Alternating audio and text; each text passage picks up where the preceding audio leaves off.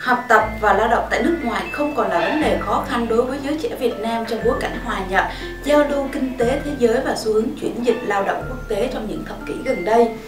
Chính sách lương hấp dẫn và mở cửa cơ hội định cư đối với lao động có tay nghề cũng góp phần thúc đẩy nguồn lao động sang làm việc tại Úc.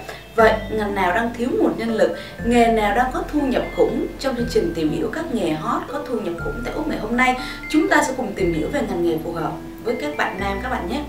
Theo báo cáo mới nhất, tỷ lệ thất nghiệp ở Úc vào năm 2016 là khoảng 6%. Như vậy, việc tăng trưởng kinh tế của Úc đang theo hướng tích cực và tỷ lệ có việc làm ở Úc rất cao.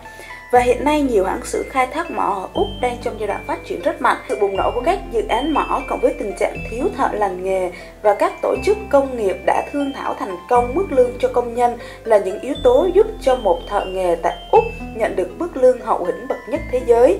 Sau đây là một số nghề hot có thu nhập cũng tại Úc. Thợ hàn nối ráp giàn khoan ngoài biển nhận lương khoảng 2.000 đô la Úc một ngày. Thợ nề, thợ sắt tại dự án nhiệt điện được trả lương 4.000 đô la Úc một tuần. Thợ hàn làm việc tại giàn khoan được trả công 50 đô Úc một giờ và thêm 88 đô Úc một ngày vì làm việc xa bờ. 500 đô tiền vé để về lại đất liền.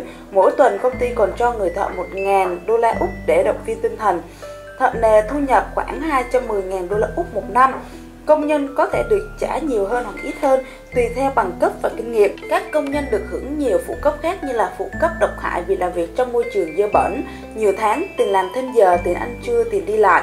Yêu cầu tay nghề đối với thợ hàn có kỹ thuật tay nghề cao trong việc cắt, hàn, uốn nối các sản phẩm sắt thép, gia công chế tạo và sửa chữa đồ dùng, sản phẩm bằng kim loại sắt thép nhôm, lắp ráp hàng sửa chữa nồi hơi bình áp suất cao, ống dẫn tàu theo yêu cầu, đặc biệt tuân thủ các quy định làm việc, yêu cầu tay nghề đối với thợ nề phải tuân thủ nghiêm ngặt sự phân công và chỉ dẫn về kỹ thuật an toàn thi công bởi người phụ trách, phải dựng lắp đúng các yêu cầu trong thiết kế thi công đã được xét duyệt, bảo đảm an toàn, thường xuyên kiểm tra tình trạng của công trình đang thi công. Để tìm hiểu thêm về thông tin chi tiết các ngành nghề có thu nhập hấp dẫn tại Úc, hãy xem thêm trên website là duhonguc info Để được hỗ trợ hồ sơ, các bạn có thể liên lạc trực tiếp với chúng tôi theo số điện thoại 0838 48 48 79 hoặc 0838 38 2080. Xin chào và hẹn gặp lại tất cả quý vị trong chương trình lần sau.